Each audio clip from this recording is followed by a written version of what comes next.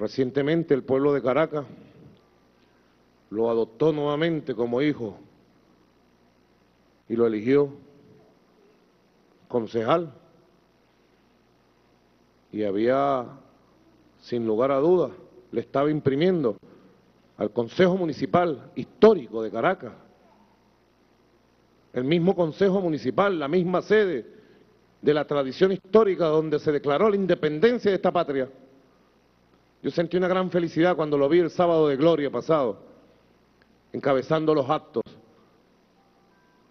por los 204 años del grito de independencia del 19 de abril del 1810. Supo ser leal a nuestro comandante Chávez, leal como el más leal de todos. Supo ser leal a nuestro pueblo, a sus orígenes humildes, fue un soldado de siempre y para siempre. Por eso me siento complacido como comandante en jefe de haberlo ascendido al grado de teniente coronel, porque de verdad se nos ha ido un comandante revolucionario, sin lugar a dudas, un comandante de este tiempo.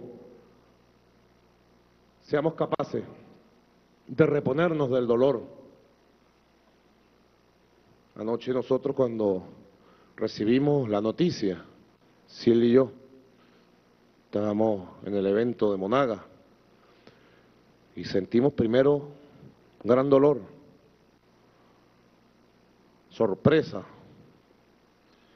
Y hoy yo les puedo confesar, me perdono, yo he sentido una gran indignación. El dolor se transformó en, se transformó en indignación las propias circunstancias de su asesinato. Si fuera diputado podría hablar libremente, ustedes saben.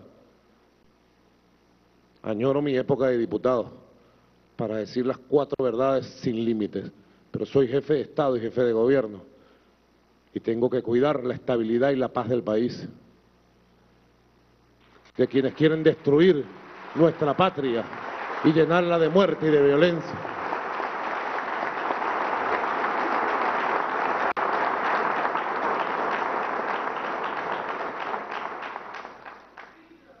Y nosotros,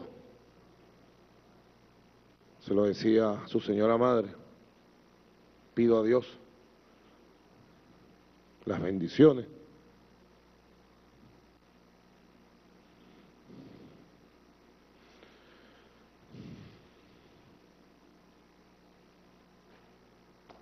para que pueda superar tanto dolor. Y me he comprometido, Mayor General Rodríguez Torres, Ministro del Interior, me he comprometido, y así te doy la orden, a conseguir a los asesinos de Otaiza, estén donde estén, y a esclarecer plenamente este asesinato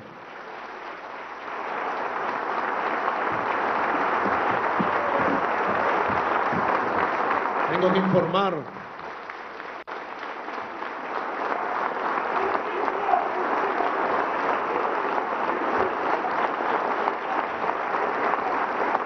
Tengo que informar responsablemente, responsablemente, así como lo informó nuestro querido ministro, compañero, hijo de Chávez también, una generación de hombres y mujeres que supieron ponerse de pie para siempre.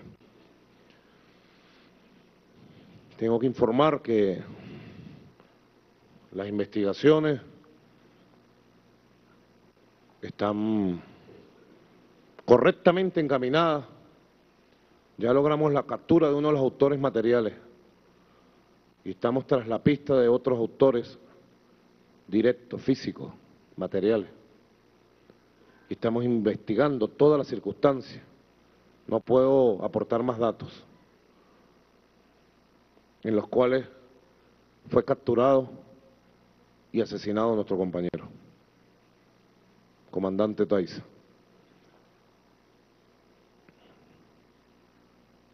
Yo pido al pueblo a toda Venezuela. Nuestra patria tiene poderosos enemigos que la acosan permanentemente. Hoy, mientras velábamos a nuestro comandante, compañero, en una zona del este de Caracas, municipio Baruta, un grupo de los mismos que hemos conocido, en Chacao. Los capturamos a casi toditos ya en Chacao. Hacia más el este, Santa Fe. Capturamos a un cerebro financista. Y con la captura de este financista con sus armas y su dinero, mucha información que compromete a mucha gente de esa derecha. Lo tengo que decir. Más gente de la que yo pensaba. Comprometido en estos planes de llenar de violencia, de muerte, de sicariato nuestro país.